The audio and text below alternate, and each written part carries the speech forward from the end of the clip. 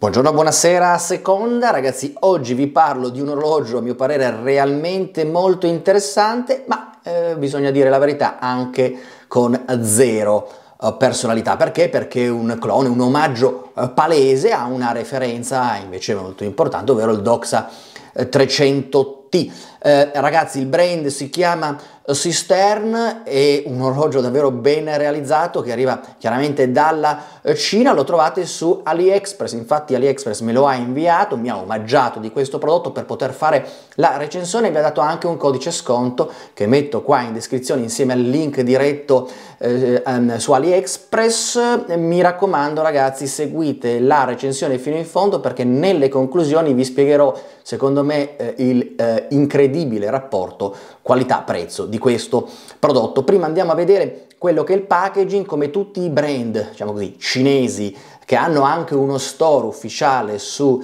AliExpress, molto spesso la confezione è questa, ovvero un astuccetto abbastanza eh, cheap, un po' banale, eh, in questo caso con l'indicazione cistern, ehm, con quattro punti di eh, chiusura, eh, devo dire che è, è piuttosto rigida, cioè bisogna mettere un po' di forza, applicare un po' di forza per aprire la confezione, una volta aperta troviamo una componente spugnosa e su questa è adagiato chiaramente eh, l'orologio, una componente cartacea barra plasticosa, card di garanzia eccetera e in questo caso un tool che serve per andare a regolare in autonomia quello che è il bracciale, devo dire che non funzionerà, probabilmente si romperà subito. Devo dire che il packaging non è nulla di stupefacente. L'orologio, ragazzi, è bellissimo, almeno per quanto riguarda il layout estetico, chiaramente come detto privo di personalità, perché questo è il layout estetico dell'orologio eh, al quale questo si ispira o che omaggia palesemente, ovvero il Doxa Sub 300T eh, nella versione C-Rambler, quindi quella eh, con silver dial e punti arancione, eh, ragazzi molto diversa dal Doxa 300 che ha un'idea un po' più vintage eccetera eccetera eccetera. Per quanto riguarda la eh, lavorazione di questo orologio è davvero molto molto alta per il prezzo, abbiamo una diciamo così, lato alto eh, rivolto verso il nostro sguardo, una, una, spazzolatura molto fine a sapor di seta e lucidature eh, lato cassa. Ragazzi, quello originale in questo punto esatto ha anche la valvola dell'elio.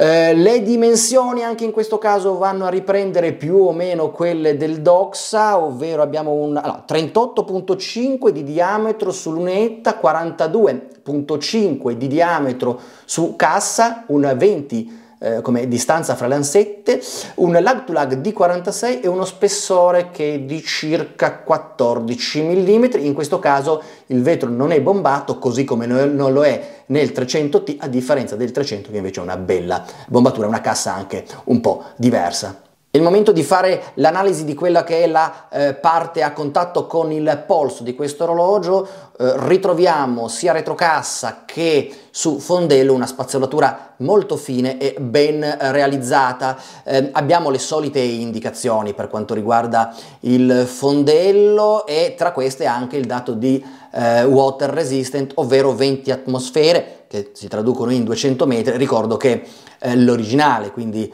il Doxa, eh, si parla di 1200 metri. Mi piace tantissimo, chiaramente lo vedete, questo è un fondello stampato, mi piace tantissimo quella che è l'immagine impressa eh, nella parte centrale del fondello, ovvero questa enorme onda che sembra stia per andare a inghiottire, inglobare questa eh, piccola stella marina. Davvero piacevole. Torniamo a girare l'orologio ed ammirarlo in tutta la sua bellezza. Mi piace tantissimo questa cassa tonneau e come eh, va a far da contorno a questo blocco eh, centrale, un blocco centrale sovrastato da una ghiera davvero ben realizzata, fedele alla originale e questa va a abbracciare, vedete, l'inserto ghiera in alluminio interno. Insieme vanno a eh, creare quella che è la scala di decompressione utilissima per i sub. Ha un ottimo grip una giusta eh, durezza, un giusto feed, non ha lag e chiaramente 120 è unidirezionale ed è ben allineata.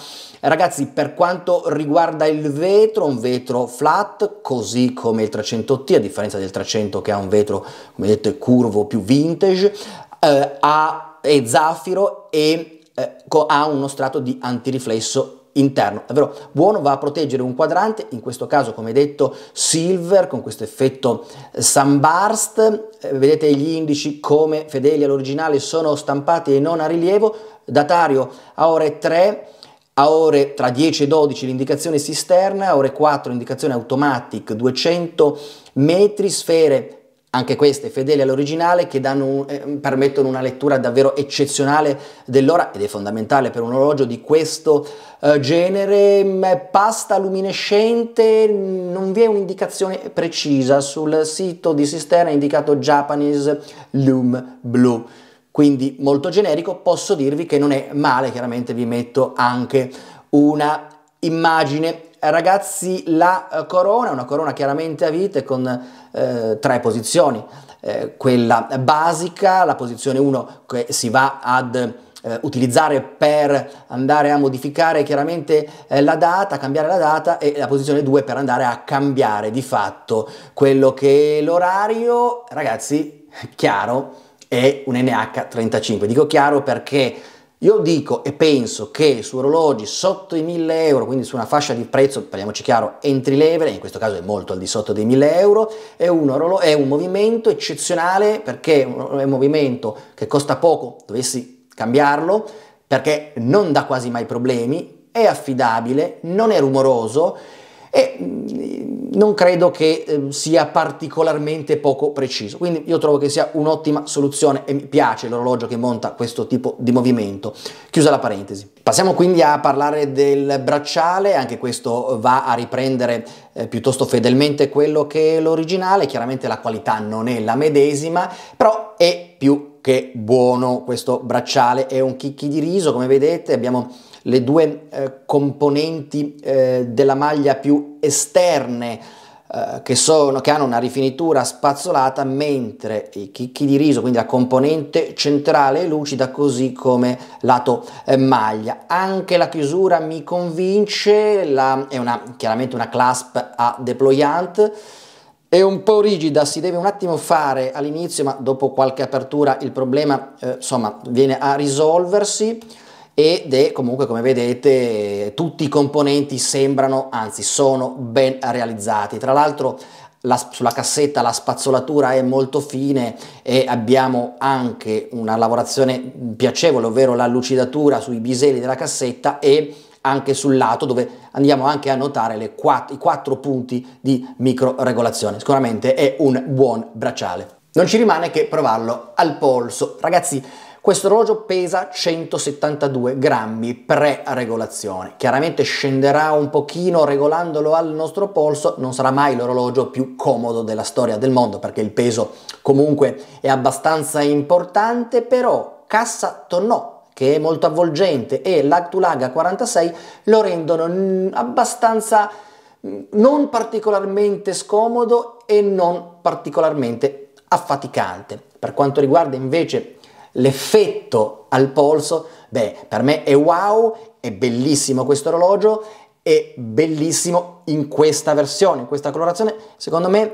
può essere sia sportivo, molto estivo, ma anche elegante. Io immagino un abito quando si ha un altro elemento, che possono essere per esempio le scarpe sportive con abito elegante, questo orologio diventa eccezionale in un abbinamento eh, di quel genere. Eh, ragazzi, arriviamo alle conclusioni. Bene,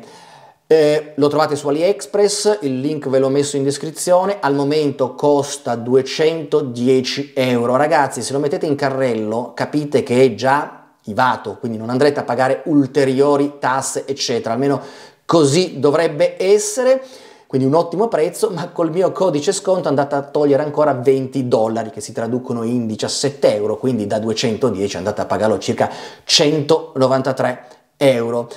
Per come è prodotto questo orologio, per ogni sua componente, eccetera, ve l'ho spiegato, è un orologio fatto, realizzato davvero in modo incredibile, a 193 euro, io credo che possa considerarsi realmente un best buy. E sicuramente un Best Buy senza personalità. Chiaro che il Doxa è meglio, ma il Doxa, al quale questo va ad ispirarsi fortemente, costa 1900 euro. Un saluto a tutti, alla prossima, ciao!